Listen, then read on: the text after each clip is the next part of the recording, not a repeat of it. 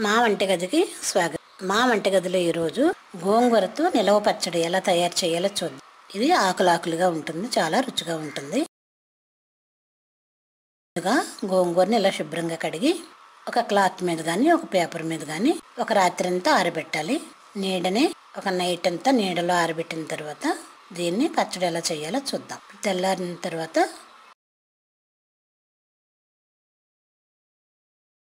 Stove పై pan పెట్టి table spoon మెంతులు వేయించుకుందాం. ఇవి ఇలా వేగిన తర్వాత ఒక ప్లేట్లో తీసుకొని పౌడర్లా చేసుకుందాం.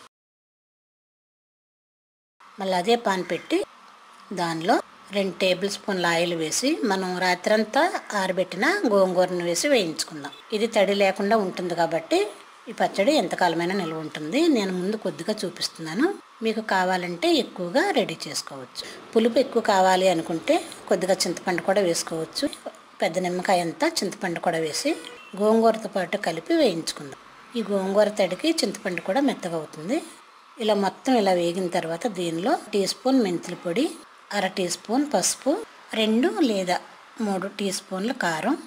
మనం రుచికి తగినంత ఉప్పు కూడా వేసి బాగా కలుపుకుందాం. ఇది గోంగూర మెత్తగా ఉడికింది కాబట్టి నేను మిక్సీగా రోట్లో కానీ వేసి దంచలేదు. మిక్సీ వేయలేదు రోట్లో దంచలేదు. కారం ఉప్పు కలిపిన ఈ గోంగూర మిశ్రమాన్ని ఒక ఒక బౌల్లో తీసుకుందాం. దీన్ని మళ్ళీ పోపు వేద్దాం.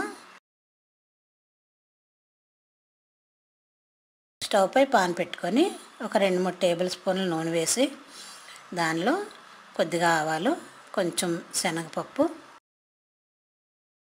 కొద్దిగా జీలకర్ర నాలుగైదు ఎండుమిర్చి